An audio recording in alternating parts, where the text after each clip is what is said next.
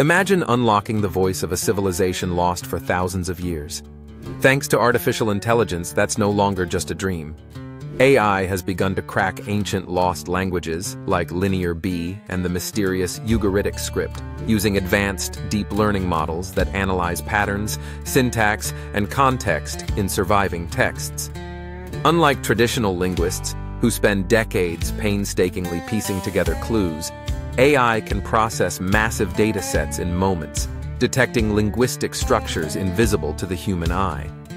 In 2023, researchers used AI to translate thousands of cuneiform tablets from Mesopotamia, revealing intricate trade routes, legal codes, and daily life details never before understood.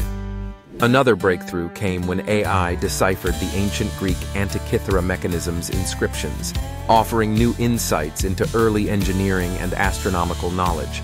These mind-blowing advances mean forgotten stories, scientific discoveries, and even lost philosophies are being brought back to life.